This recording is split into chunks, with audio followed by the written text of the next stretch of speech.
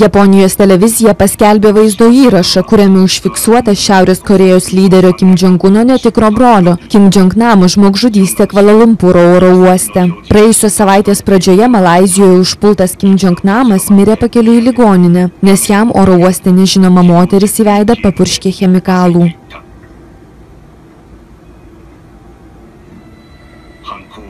の後一瞬の出来事だった。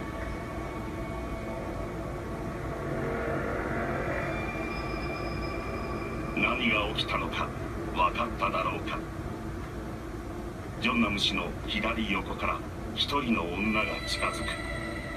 すると画面右側から白い服の女が駆け寄り背後からジョンナム氏に飛びかかった。振り払うような仕草を見せた。ジョンナム氏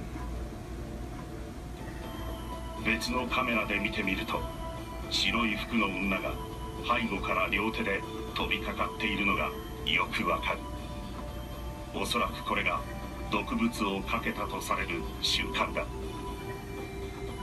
時間にしてわずか2秒ほどの犯行だったことがわかる。その直後一人の女は画面奥へ。白い T シャツの女は画面右へと逃げるように消えていった次にジョンナム氏が現れたのがこの映像空港職員に何かを相談しているように見える Kitame kadre jau ryškiau matosi mėlynais marškiniais ir pilku švarku apsirengęs Kim Jong-namas. Jis besivalydamas veidas svirduliuoja prie oro uosto darbuotojų ir tada pajuda link greitosios pagalbos punkto.